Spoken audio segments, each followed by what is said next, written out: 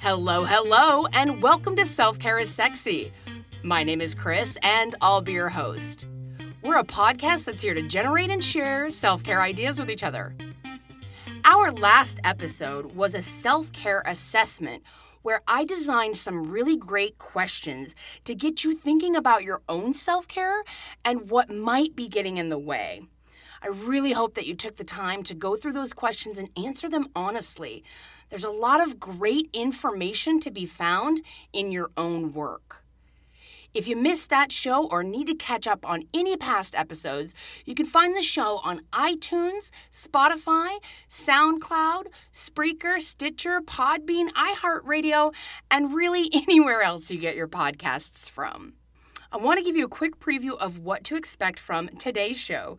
Today, I've got 10 easy ways that you can love yourself better today without having to buy anything, without having to read anything, or really put too much effort into it. I've got some really amazing life hacks that are going to help you build a better, loving relationship with yourself and really start to see yourself differently through the self love and the self care. But first, a few quick housekeeping notes. All right, so for today, I've got 10 ways to love yourself that don't include having to buy a bunch of shit or go run a bunch of errands or rack up a bunch of debt. These are actual practical ways that you can use to love yourself better. Because a lot of us have actually never been taught how to love ourselves.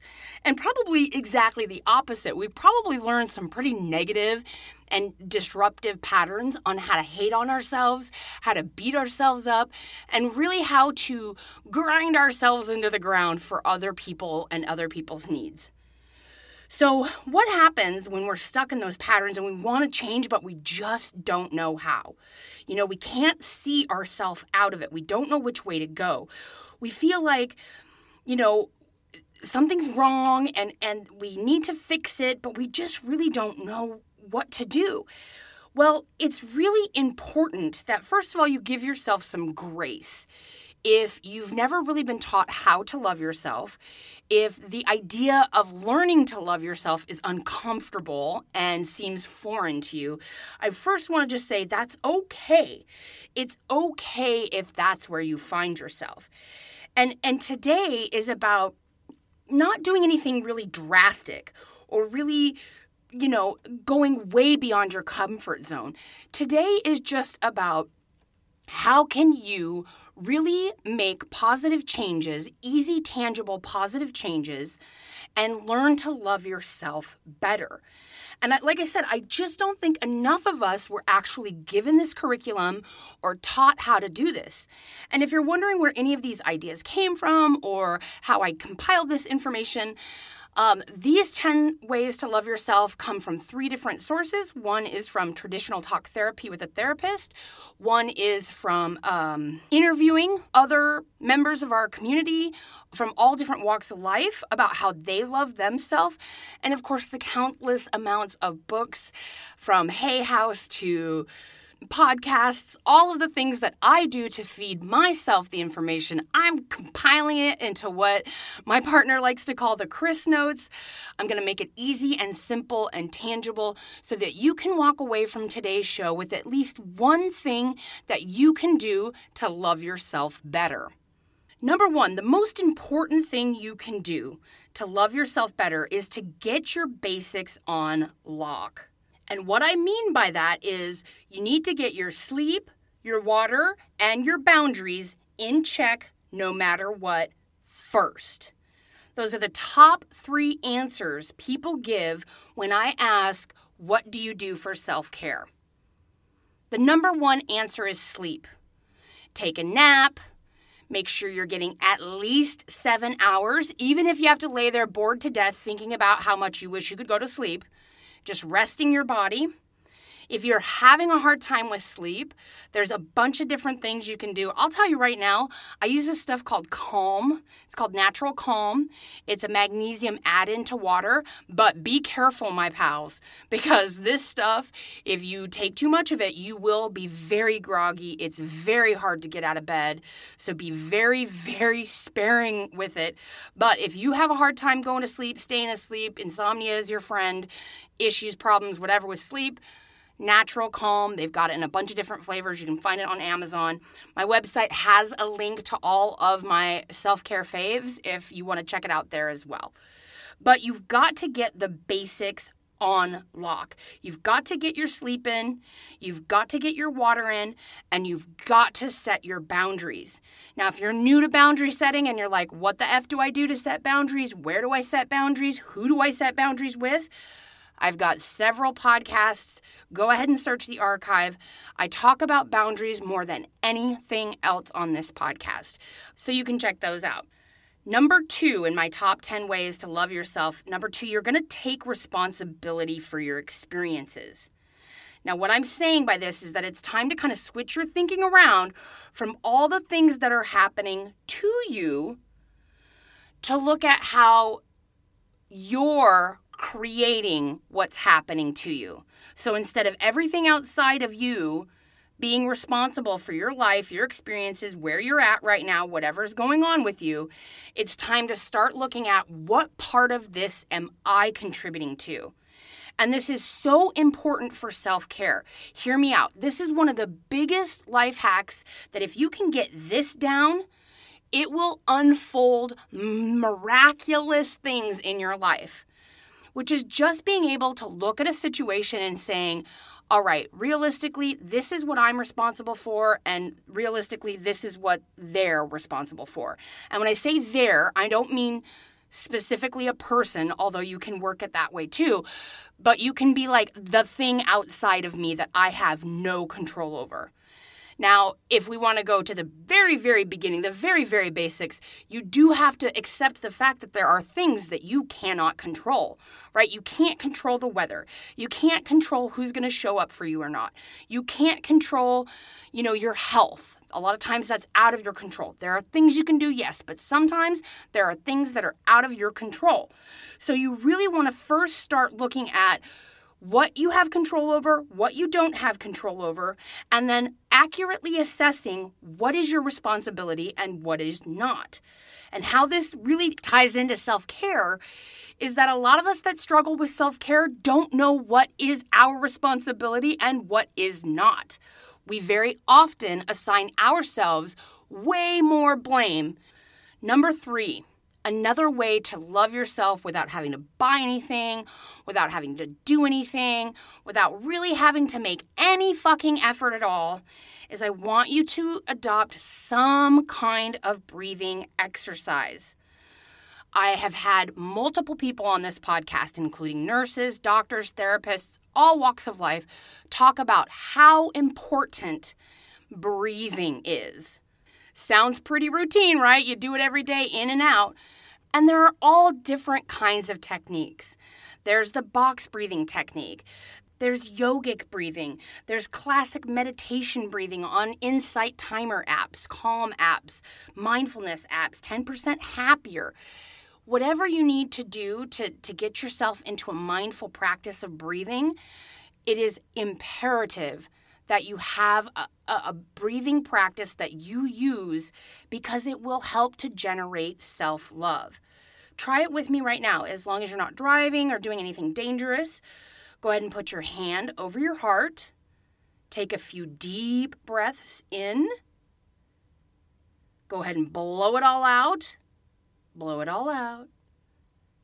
And say, I love you just the way you are and do that as needed three, four, five times a day if you need. It's a very simplistic way to just reaffirm that you do love yourself. Number four, replace should with could. So, should is not a very loving concept. And I say it all the time don't should on yourself. Don't. Don't do that thing where you say there's all this stuff you should be doing. No. We are going to collectively agree, of course, after all this horseshit we've been through over the last year and a half, two years, we're not going to keep track of and have this unrealistic list of the things that we should be doing. You know, because that list is based on what? It's based on people outside of us. It's based on our comparisons. It's based on something somebody said to us once that stuck with us forever about how shitty we are because we're not doing a thing that we should be doing. So I really want you to work on catching that should and replace it with could. And so what that looks like is I should lose some weight. I should get a better paying job. I should really do my nails more often, look more presentable. I should dress up more. And that's not a very loving way to talk to yourself. Whereas, I could lose some weight. I could do it. I could make my health a priority. I could buy some fancy, beautiful clothes and make myself feel better. I could design a whole new website that allows my listeners to get the resources immediately with one or two clicks. It's just enough of a switch to get your brain to stop beating itself up and telling you all the ways you lack. Which brings me to number five. I want us to start cultivating limitless self worth. Start seeking out limitless self worth. What makes you feel worthy? What makes you feel good? How can you really cultivate it? You know, create check boxes or get a habit tracker or look for ways you've already succeeded. Think of your past self, maybe a, a, time in your life where you were really down in the dumps, really in a dark place, and think of that person then and who you are now if we're going to stop shooting on ourselves and comparing ourselves to other people, let's at least take that loving look and compare ourselves to ourselves. My bestie sent me something the other day that said, Stop making comparisons. The only person you should be competing with is your past self, which shouldn't be too hard because you were a train wreck for a really long time. and she's not wrong, not wrong. I take full responsibility for that. There have been many times in my life where I was a giant train wreck. And that's why making self care, making my sleep, my water, and my boundaries a priority, and really focusing on loving myself has been such an incredible journey. That's why it's been so rewarding. And what I'm trying to tell you is there is a way to get from a place where you think of yourself as a piece of shit, a heel, doesn't deserve anything, it has no self-worth, bases your self-worth on your partner, your your parents, your job, whatever. That the flip side of that is where you can break free from that and you can really start to see yourself differently and find your self-worth in what's already there. So whereas before I would like look at other people around me and see like my partner is a reflection of how worthy I am of love, my job is a is a, you know, physical manifestation of how worthy of a person I am. And when I decided, you know what? That's no longer fitting for me. I'm going to start determining my self worth on how well I speak about myself. I'm going to start determining my self worth on how good I feel about myself. I'm going to start determining my self worth on how much time I take for me and how much I make self care a priority. That's where my self worth is, which ties beautifully into number six, which is start looking for what is right about you. You know, shift that really critical eye towards what's good about you. Now, I know it's hard, especially if you've been really mean to yourself your entire your entire life you know? You you can't just shut that voice off. It's been there your entire life.